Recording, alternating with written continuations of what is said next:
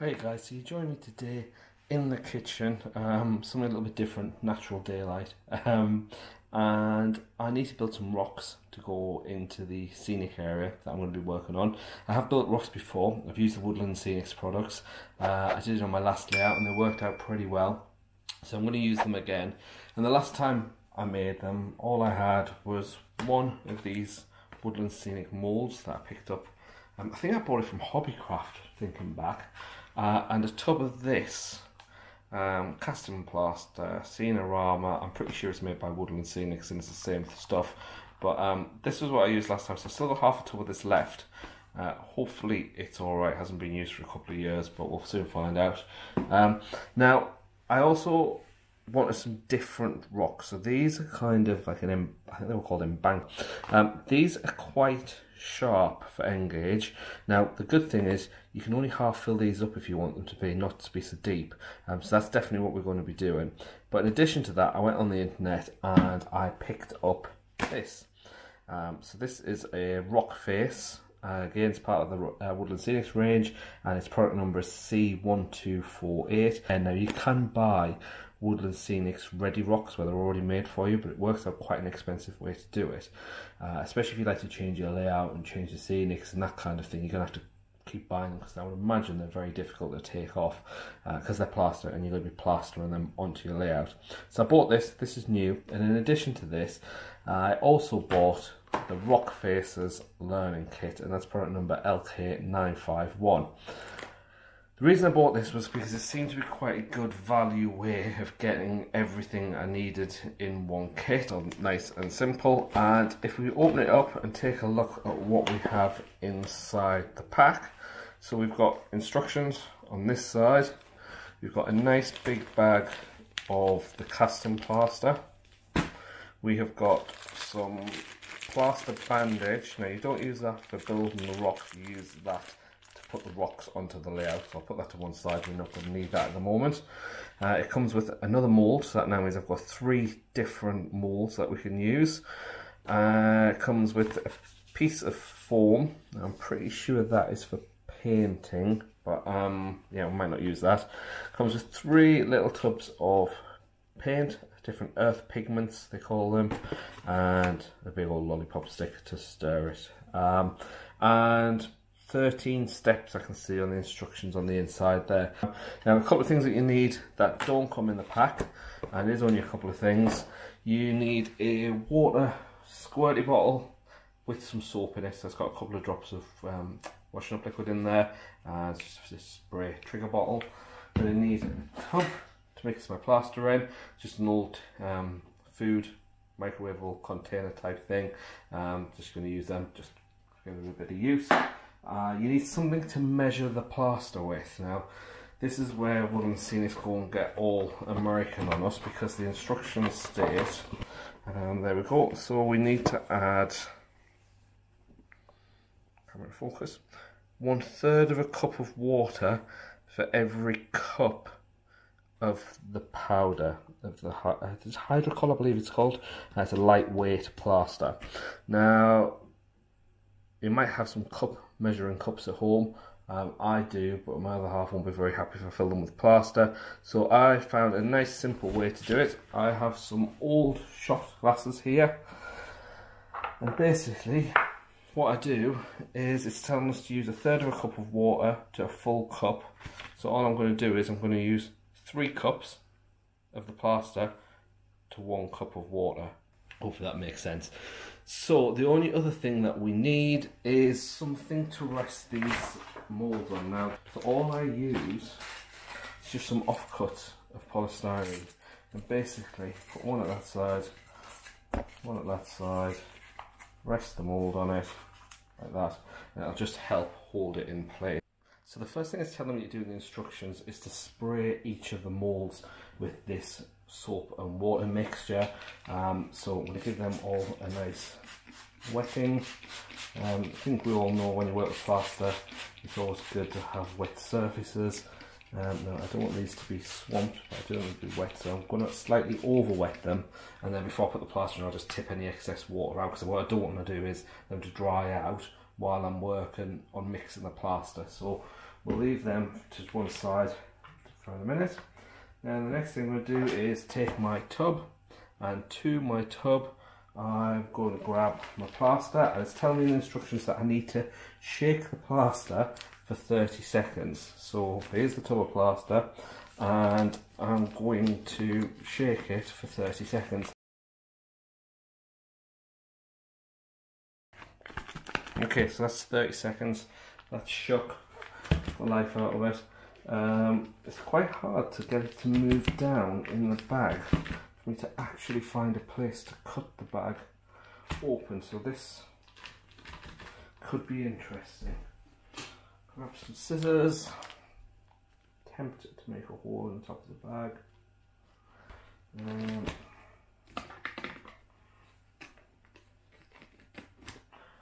corner off. Now, I am going to use, I don't know how much I'm going to need, that's the problem. Uh, it's always the way with these things, it doesn't actually tell you how much you need. So I'm going to start by measuring out six cups.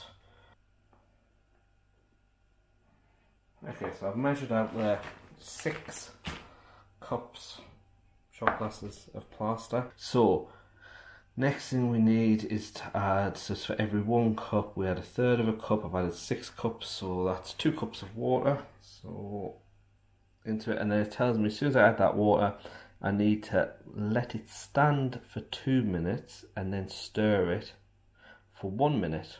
So it seems weird that you wouldn't mix it.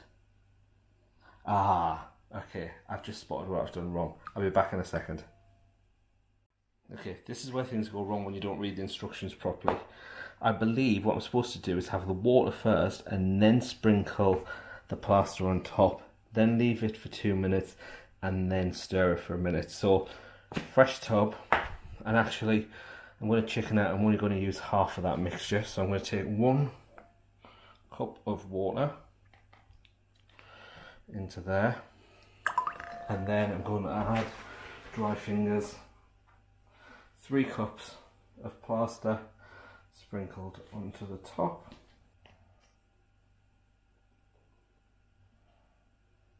Three of them. And then I'm going to leave it for two minutes. And after the two minutes is up, we will stir it for one minute. So, two minutes. So that's two minutes up. Uh, now I need to stir it for one minute. So I've set a timer and I'm now going to stir it for a minute.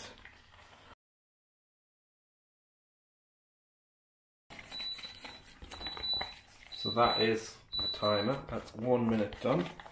So let's move this to one side, let's grab my first mould and that's nice and wet in there still. I'm just going to tip any excess water out. Again, that's why I'm doing this in the kitchen because it's nice and easy.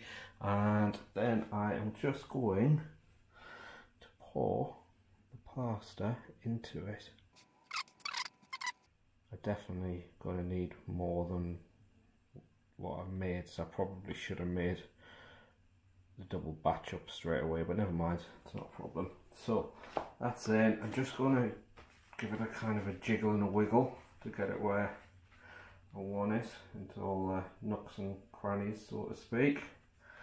Uh, I just need a tiny drop more over this side, it's a bit thin. A bit more down there as well. And then I'm going to grab the next mould again, get rid of the water out of it. And there isn't a huge amount left. So let's see if we can get this little one here done. Okay, so I've made up two mixtures and it hasn't filled all three molds. I've got one, two, three small ones empty here, but I'm going to leave them there for now. I'm not mixing up a third load just for that. I'm going to leave them for 40 minutes, which is how long it is to leave them.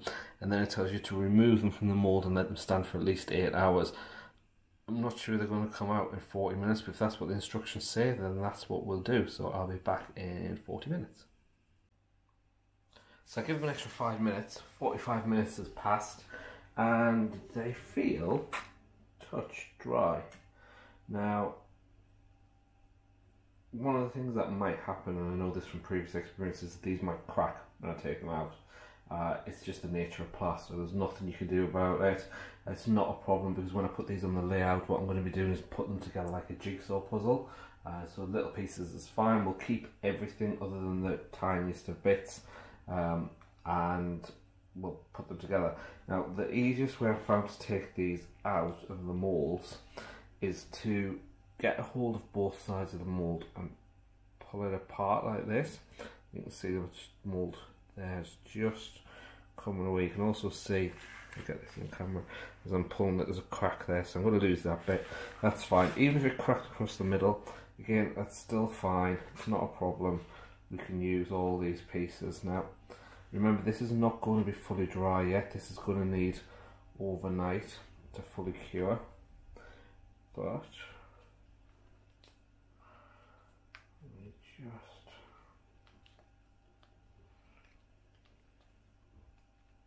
a little bit of patience needed with this as well.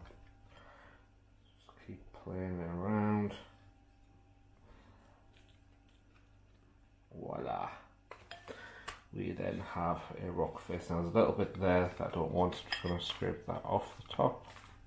Just like that. Now this is still really brittle at the moment, so it's definitely going to need plenty of time to dry. But um, let me get the others out uh, I'm going to cast a few more, um, keep them going 45 minutes, keep churning them out because I want loads of these to work with. Um, and then I will come back to you once I've got all the different pieces. So I'll be back shortly. So it's the next day, we're back up in the loft and as you can see I've made three of these um, style rock faces, three of these style rock faces and a whole load of bits of rock and this stuff is so light. I can't tell you how light it is so that's really really fantastic.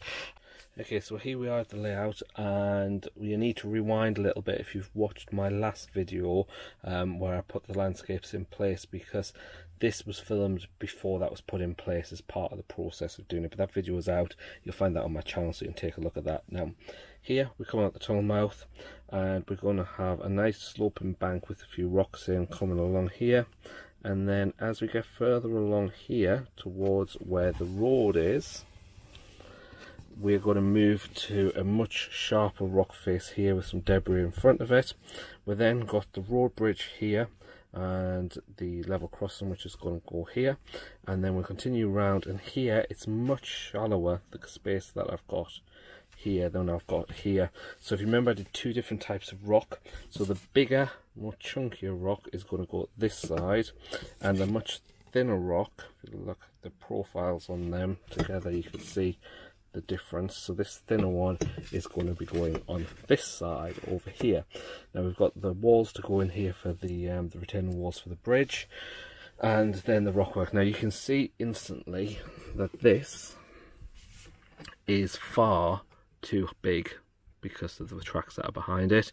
And also we're on an incline on this side as well so we've got that to think about.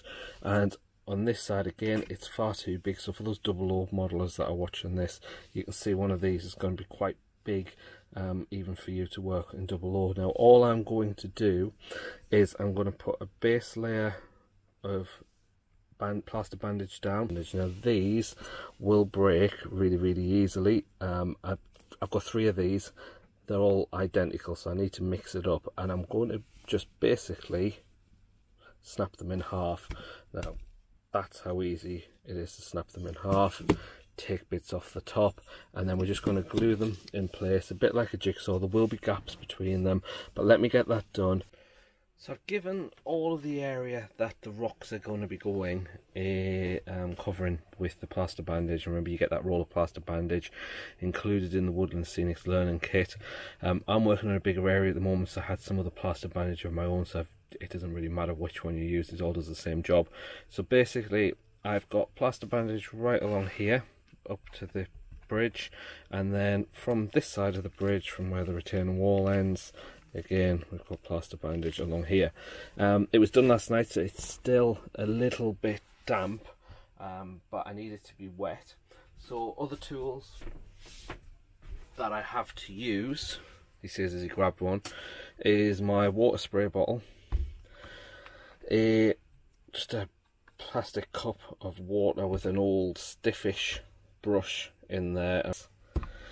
A trowel, oh scraper, it's actually a wallpaper scraper, and some ready mixed smooth filler. Now this doesn't come with the Woodland Scenics kit, so you could just use glue or you could just use the wet plaster cloth. Um, what they tell you to do is take a piece of plaster cloth, fold it up, wet it, stick it on there, and then stick your piece of rock to it. Much better. Now you need to remember you need wet surfaces with this, you need things to adhere. Uh, so if I grab a piece of the rock that I'm going to be using, for example, that piece is going to be sitting in there. So what I will do is I will put wet that just with a squirty bottle, put wet the back of the rock, and then grab some filler, put that. Oh, sorry, I just hit the camera put the filler, always hard to do this and filling it at the same time, on the back like that to use as a glue. That'll also fill in any gaps that are left. And then simply stick that into place. And then what I can do is any filler that squirts out, just get the wet brush and just dab it down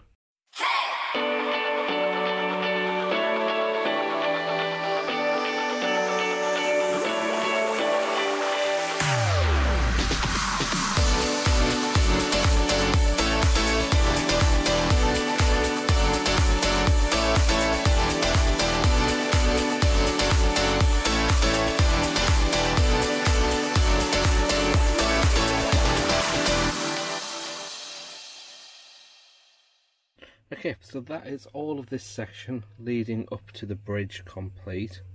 Um, that, hopefully you can see from the last video, it was quite sped up, but basically it's like building a jigsaw, so you just break all the big rocks up into little pieces of rock and then just slot them together wherever they'll fit and by using the filler and a wet paint brush and sometimes putting a little bit of filler on the brush as well you can just push bits of filler in any gaps that don't look very natural um, just to kind of bring the jigsaw together. Now that looks a little bit white cliffs of dover at the moment um, but i'm going to crack on. I'm going to get the rest of the rocks put into place uh, and then this is going to need quite a while to dry um, because i'm putting it on wet plaster cloth uh, and the rocks and i'm also doing some of the scenic work at the same time.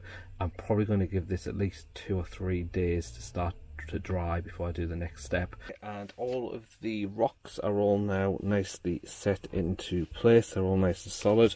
Uh, they go all the way around so they start here where they blend in and then they go nice and solid right the way up here and all that filler I used has just kind of sealed all the gaps all the way around them so they're nice and secure.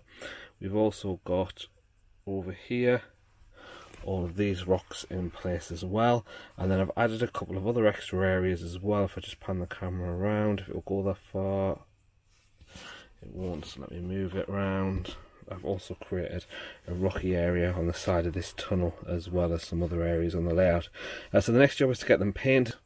The three sets of pigments that came in the um, Rock Faces Learning Kit uh, so we need three of them. We need three cups. Um, I've just got three plastic cups here. We need some water to dilute the pigments. And then it, the kit comes with this piece of foam for you to dip into the pigments and then apply the colour. Um, but I have some of these in the house and these uh, do the same job, but they're a little bit easier to use. So basically what I'm going to do is I'm going to use, you have to have according to the instructions, um, two secondary colours and a primary colour. So these two browns are going to be my secondary colours and the black is going to be my primary colour. So apparently what I do is mix these up. Now these two need to be one part paint to 16 parts water and then the black ones to be twice as weak so one part paint to 32 parts water so we'll mix them up and then we use what they call I think they call it the leopard method really annoyingly, I've just painted the part that I said I would show you how I was going to paint it and then realised I hadn't pressed record on the camera. Um, so I've got another area over here uh, which is going to have a small rocky area just here.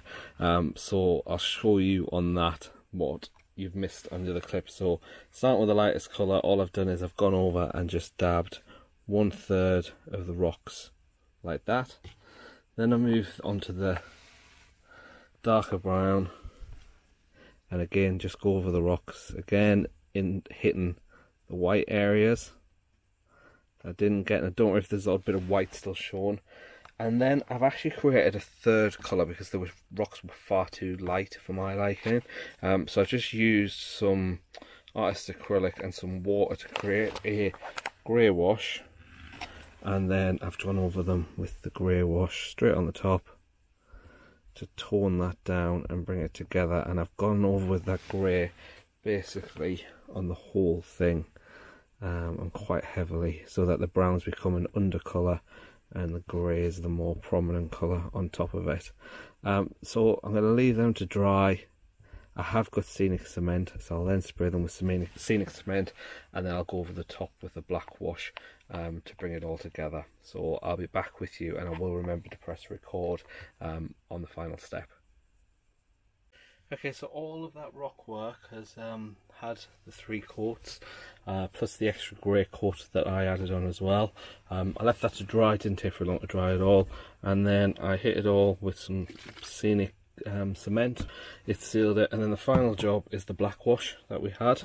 And all we're going to do is exactly the same as we did, but we want to make sure we cover everything this time, and it needs to be nice and wet, because what we want is all that black to run into all the little crevices so that it brings out all the shadows in all them dark bits. Relatively happy with how it's turning out. If I move the camera around, I did the other stones a little bit earlier and they are already almost dry. So you can see these along. So that's all the washers dry. Uh, you'll probably also notice since the last clip that I've painted the area around the rocks as well to be um, brown earth tone because I'm working on the other areas at the same time. Uh, final job is I just want to pick out, and this isn't something Woodland Scenics tell you to do, but it is something I'm going to do. I'm just going to dry brush the rocks, the edges of the rocks. So I've got a flat brush with just some white acrylic paint and then I'm just going to knock off as much of the paint as possible um, and then I'm just going to lightly hit over the very very edges of the rocks colour better so once you've got the dry brushing in the very final job is just to add a little bit of greenery. Now we can add more when we come on to do more scenic work but I want a little bit on now just to start with. And all I'm going to do is just it's hot here today it's 20 about 25 degrees in the loft so this that white dry brushing will dry pretty much straight away so all I've got here just move the camera it's just some PVA this is speed bond PVA because that was just what I grabbed and all I'm going to do is just look at them and look at pictures of real rocks and work out where you would get bits of grass and things growing. Now this is in the UK, it's pretty damp, uh, and anywhere where collected water would definitely have greenery uh, growing on it. So places like this ledge here is a prime example, and especially this back because the water would run backwards. So I'm just going to put on a little bit of PVA wherever I think you would get greenery and to that I'm just going to add I've got three different Woodland Scenics products there uh, I've got a fine green grass I've got an earth blend and I've got a medium green coarse turf and I'm just going to take a pinch sprinkle that on. And then I'm just going to add a little bit because that's quite a big area on there. I'm going to add a little bit of the coarse turf as well. Now some of this will grab the PVA that's underneath. For the rest of it we will glue it down. Just using the usual method of and that's when this is going to fly away when I do this but don't worry about that. Quick spray from a distance of IPA and just a couple of small drops of diluted 50-50 water and PVA with a drop of dishwasher detergent, so washing up liquid and then we'll just leave that to dry. There we go. Um, so I'm going to do the rest of these. I want a few, a few more bits of greenery. We'll leave it overnight for the glue to fully dry and then I'll show you some pictures of the finished item. So I'll be back in just a sec. And that is the job done. That's all the rocks in place, painted, and got a little bit of greenery on there. Now remember I can always add more once I get the rest of the landscapes in around here. I can decide if I want to add more to it, but for now I'm happy with how that's looking. Um, so I'm going to leave this video here in my next video I'm going to be turning my attention I'm not sure which video is going to be first but it'll either be the road that's going to go through this area with a level crossing uh, or it'll be the track detailing through this area here as well um, both of which need to be done quite soon. But as always guys a huge thank you for your support a massive thank you to the new and old subscribers alike. I really do appreciate you following along uh, on my journey as I build this layout. And uh, if it's always if you've got any comments any suggestions any thoughts feel free to pop them in the notes down below. And um, I will see you in the next video. Thanks guys. Take care. Bye bye